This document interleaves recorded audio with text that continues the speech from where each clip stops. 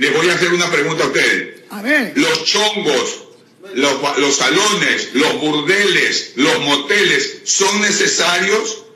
Bueno, para usted ya no.